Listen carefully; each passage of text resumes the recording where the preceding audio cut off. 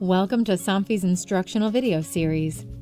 In this video, we will show you step-by-step programming instructions for our battery-powered Eolus 3D wire-free wind sensor.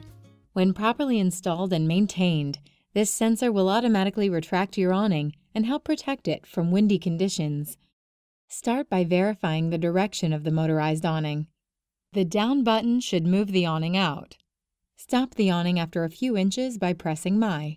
If you need to change the direction, please refer to the How to Change the Motor Direction video. Now, slide the mounting plate off the Eolus wire-free 3D housing in the same direction the arrow indicates. Install the mounting plate using the fasteners on the same side as the motor. Remove the sensor from the housing using a small screwdriver.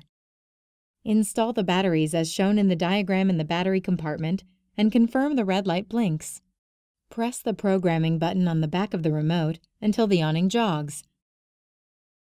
A jog is a brief in and out movement of your motorized product. Now, press the programming button on the Eolus until the awning jogs again. Snap the sensor back into the housing. Before you slide the cover onto the mounting plate, make sure the cover and arrow are in the same orientation. Slide the housing back on the mounting plate. Test the sensor by simulating wind by pushing up and down on the awning's front bar until it begins to retract. Press the My button to stop the awning after 5 seconds. Your Eolus wire-free wind sensor is now ready to use.